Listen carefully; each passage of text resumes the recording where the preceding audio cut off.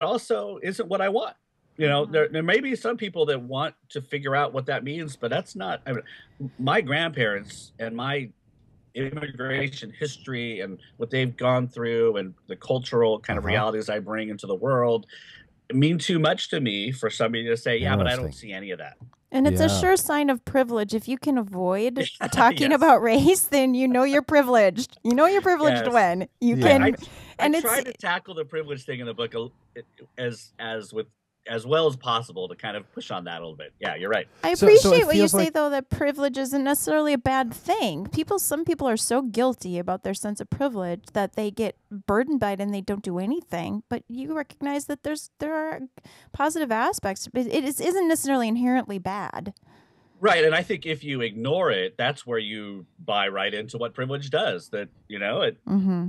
and I think it's just the cycle continues as opposed to really examining what that privilege means and what it does and how you move and shift and have the the real gift to be able to do that. I think it's uh, uh, it's really important. Yeah, and we certainly live through a, complexity in the United States, right? Because this is one of the few places uh, in the planet where there's been an intentional endeavor to mix up people's uh, ethnic and uh, and heritage and racial backgrounds, right? I mean, there's a few other places, but the United States has really endeavored in this quite aggressively, and we're all trying to figure out how to do this, right? I mean, it's a little it's a little unusual for the for, for the human experience that human beings and at least I, I think as as evolutionary uh, uh, creatures um, did better by tribal sort of sensibilities. These people are safe, these people aren't, and we're gonna you know pal up with the people who are safe so we can go to war against the people who aren't.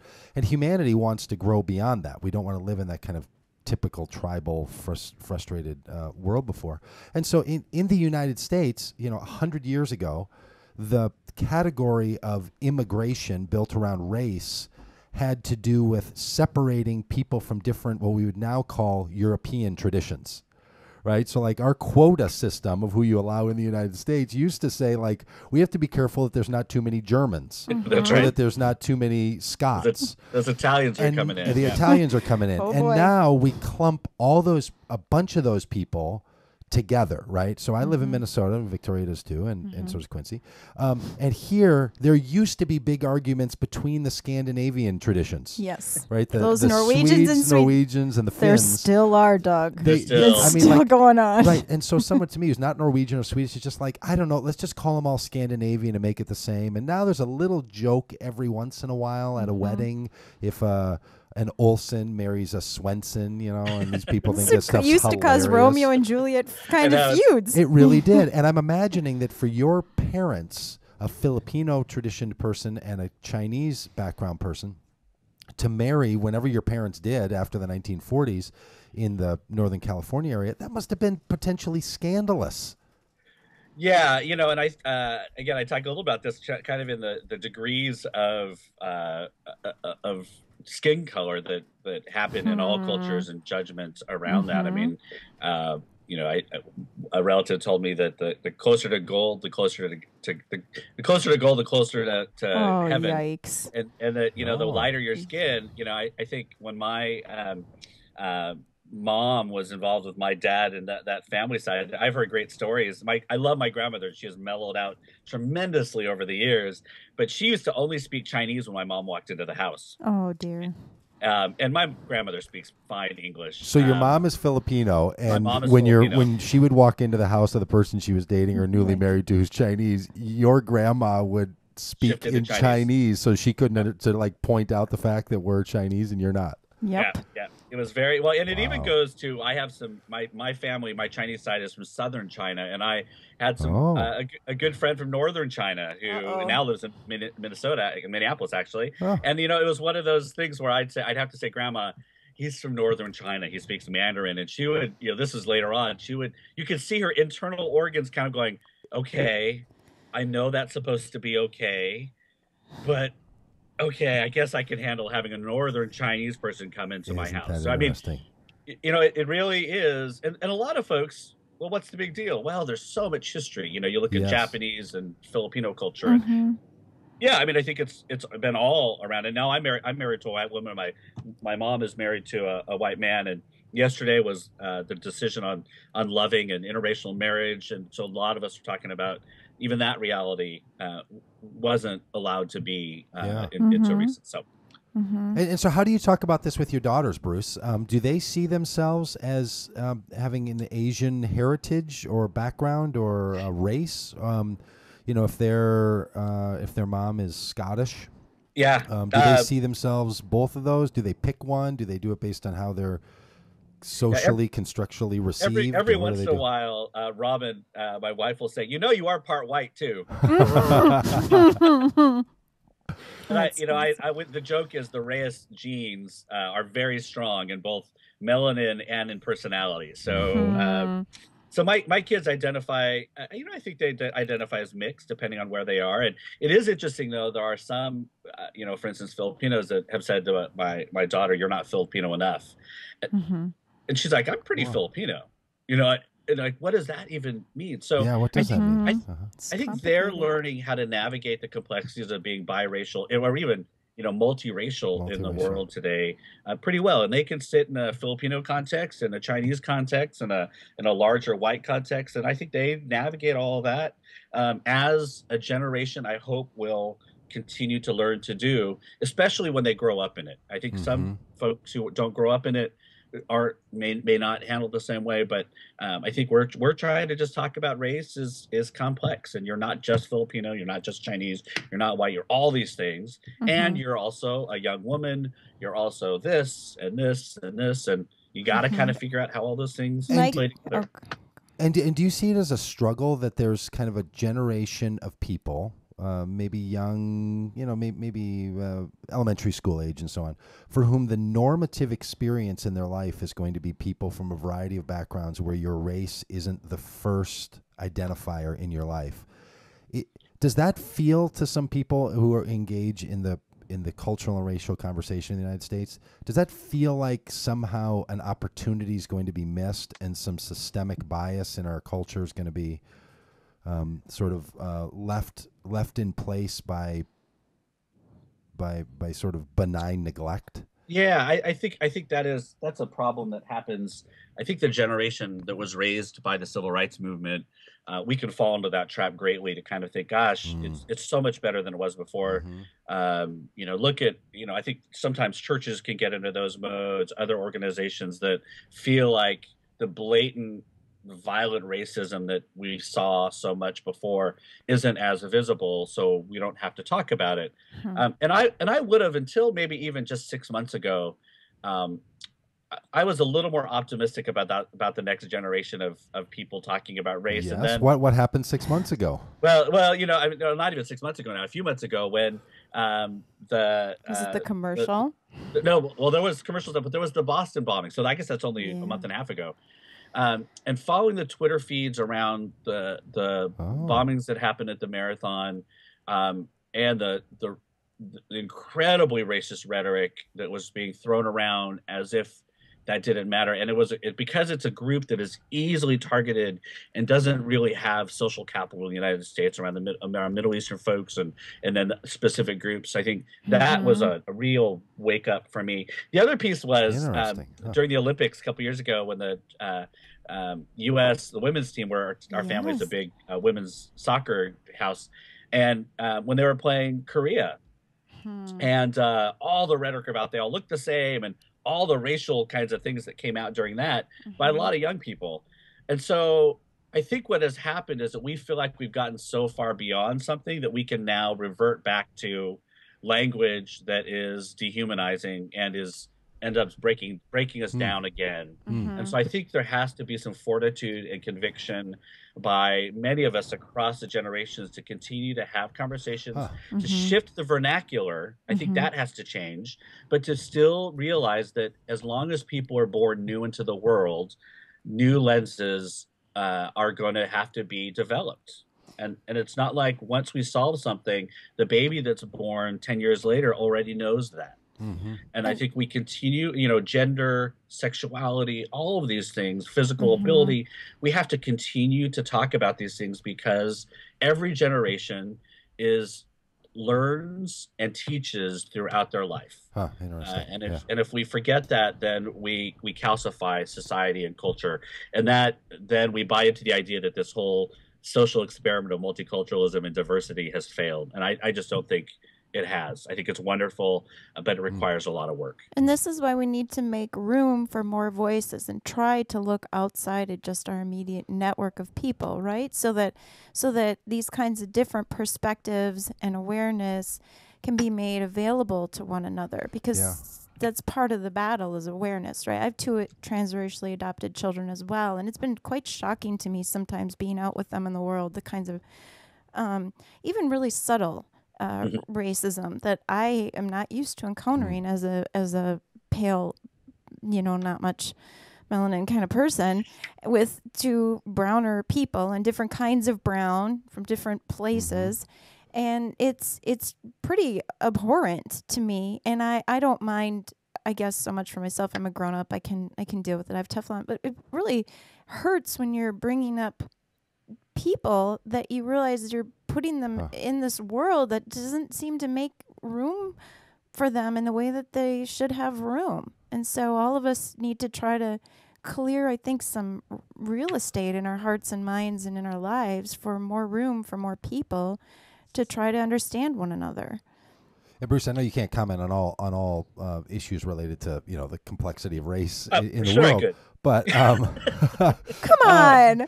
but but you know there's this question that the Victoria's circumstance uh, r- uh, reminds me of, and that in the United States there's this this question in the Supreme Court about the appropriateness of affirmative action. Yeah. And there's an argument made by some people that would say when you use affirmative action and make uh, additional spaces available for people based on racial categories, you are thereby being the racist.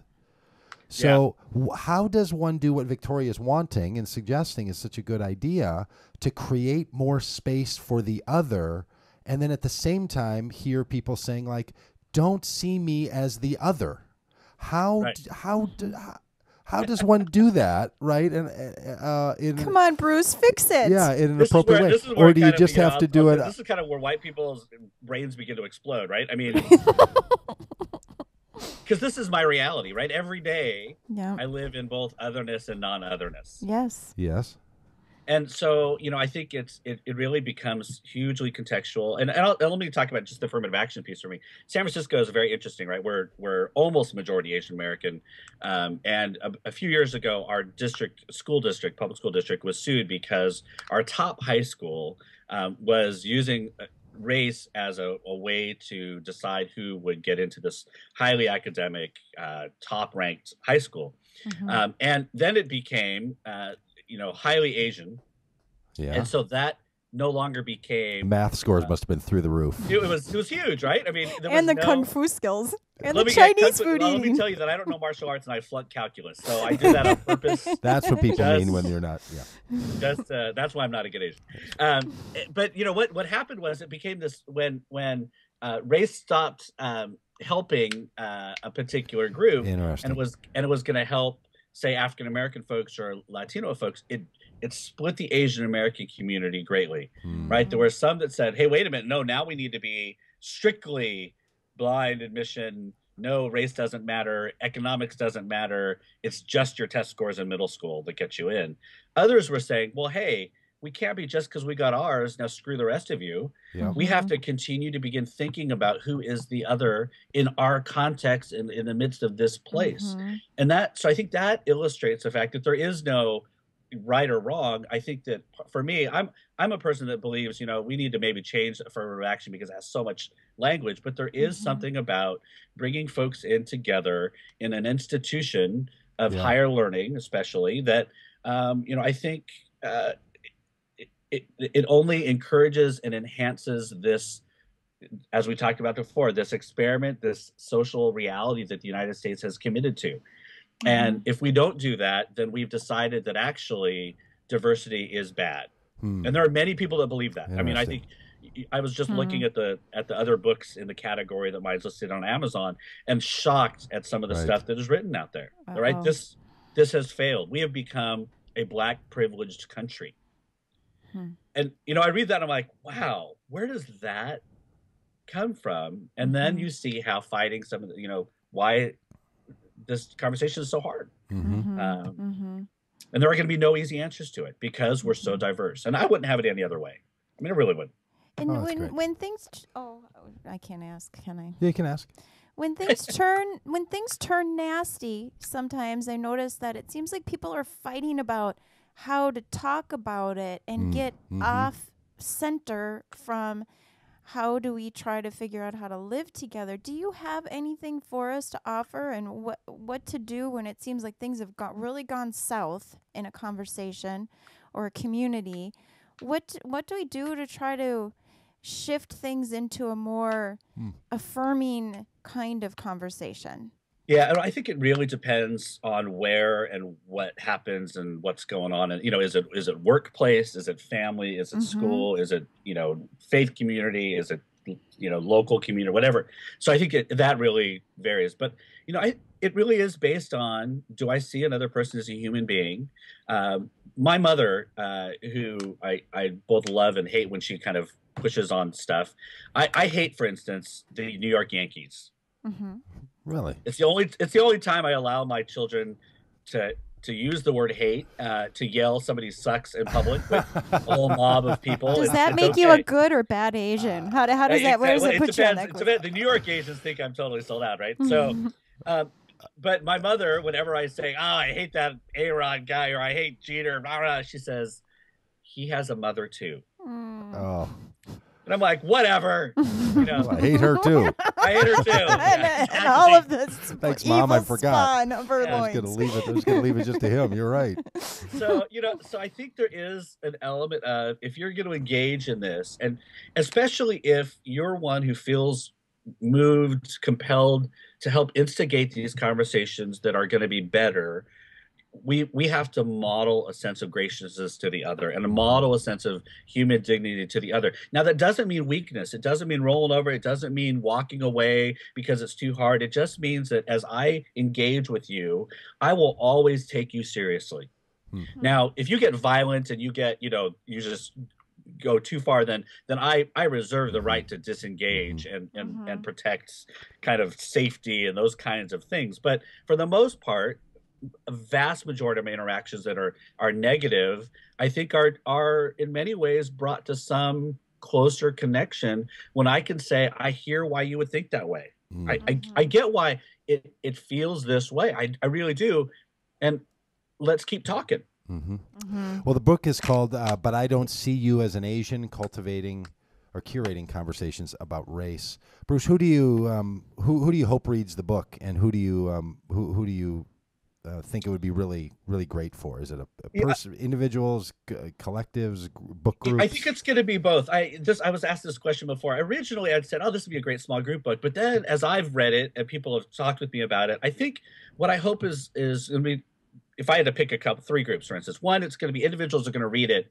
and the next time something happens, they're going to be equipped a little better to respond or react, Mm. or even their inclination to say something is going to be uh, uh, filtered a little bit more. I Yep. think that that's a, an individual. And then I think this would be a, a great book for a freshman read or an orientation. Give it to a high school senior who's headed to maybe a cultural reality in college or Nice. a new town for work that is very different. And then I think it is going to be groups who want to be given permission by a third party, a book, to talk about race in, in, a, in a little different way than I think we have been in the past. Well, that's fantastic, Bruce. Thanks, uh, th- thanks so much. And uh, and uh, Bruce is also going to be part of the Church Planters Academy because Bruce does other things in his life too. He's a uh, a church innovator and a uh, person who who uh, wants to. Also curate the formation of new kinds of Christian communities in the world. So, in August at churchplantersacademy.com, you can find uh, information about Bruce being one of the presenters there. Um, Bruce, thanks a lot. Anything else you want to? I, by, by the way, are you a runner? Well, we had this whole conversation before we launched into the show. Are you a runner or a cyclist? I can't remember. Are Good you- are Lord, you, no. Are you you either of those? You're neither of those. I couldn't No. remember. All right. I am a That's n- walker of the dog. That's no. so do runners and cyclists yell at you or not at all or how, where do you That's fall right. That's that? right. Who who who yells at you then? Because runners get Well- yelled at by cyclists, and cyclists get yelled at by, do other by car walkers yell at drivers. you who We who, don't, who we don't yells yell at dog anybody in walkers. San Francisco. We're so calm. And, Oh, I you bet. know, I bet you are. You just run them over.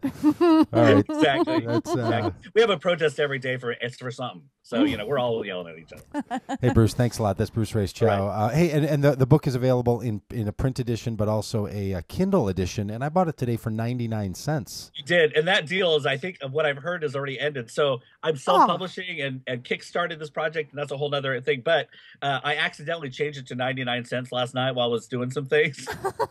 Boom, Totally was not intentional. boom. Well, I owe you ten bucks. But Uh, yet, you know, it means it gets out there. I'm gonna I'm gonna spin it as a savvy uh, marketing move. Hey, let's call it a Yeah, Doug yeah. Pagitt radio promotion. That's right. Yeah, buy it for ninety nine cents. Uh, can you, have you have you changed that already, or do you want to It, flip yeah, it already It's got done. switched. I changed it this morning, and All usually it takes a long time for the switch to happen. But my sense is Kindle said, "Oh, they're up the price. We're gonna change it now." Yeah. Oh, isn't that interesting? Well, thanks for thanks for writing the book, Bruce, and thanks for being on. It's really it's really helpful. Okay, thanks for having me on. Right. Thanks a lot, Bruce. T- talk to you soon. Bye bye. All right, bye. Here's that Bruce Reyes-Chow. I like that guy. Yeah, Yeah, I you like that guy? too. I'm Yeah. excited that he's Uh-huh. going to be in Minneapolis. He's going to be in Minneapolis. So if you want to spend a little time with Bruce, Well, I don't know if he wants to Come to spend time with me, but. I'd like that. Maybe I could just hang around by him like a little, like a little, hey, you probably should, but don't make it creepy. a groupie. Don't don't don't don't, don't make it awkward. like a don't hype be like girl. hanging around. Can I be Bruce? Can I be your hype girl? Dude, being a, making it weird or something. All right, hey, we're gonna be back here uh, after the break with uh, our uh, our right on segment and um, and Ben Yunan, an Egyptian. Woohoo! I don't see. I'm not supposed to. I don't know if I'm supposed to mention that he's an Egyptian or not. I'm, I'm I totally don't know. I, well, Egyptian's let's just go for it and see what anyway. Yeah, right. happens. So uh, so stick with us here, Doug Pagitt Radio. We're going to be back uh, after the break, um, and uh, and stick with us.